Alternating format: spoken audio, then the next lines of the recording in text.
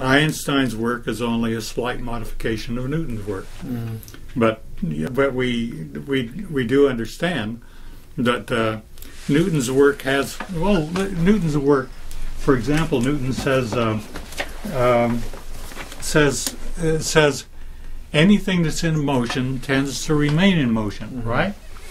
Oh, okay, so I have something, and I'm taking it I'm taking it around counterclockwise. Mm-hmm. And see it, and and what Newton said is true. He just wants to go around, and around, and around, around, around.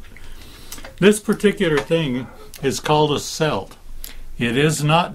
It's clear plastic. There's nothing in it. Mm-hmm. Okay, now I'm going to take it around clockwise. It says no. I don't want to do that. It's just like my children. I will do it my own way. How did it go the other way? Precisely. A Newton's law. Is that because of the rotation of the planet, or Well, there's there Can I are. try that? You may. In fact, first So- of all, send it around counterclockwise. Okay. counterclockwise. And this is called this is called a cell. It is celt. C E L T. What's in it? Okay, there we go. Nothing's in it. It's plastic. Okay, now take it around clockwise, Okay. And it says no. I and it goes back the same number of turns you said. Um, I've never seen now anything go, like now, that. Now go out stronger. I know. See, I'm looking for the exception to the rule. Mm. You have to. You have to. If you can use language, you really need to convert it into mathematics yep?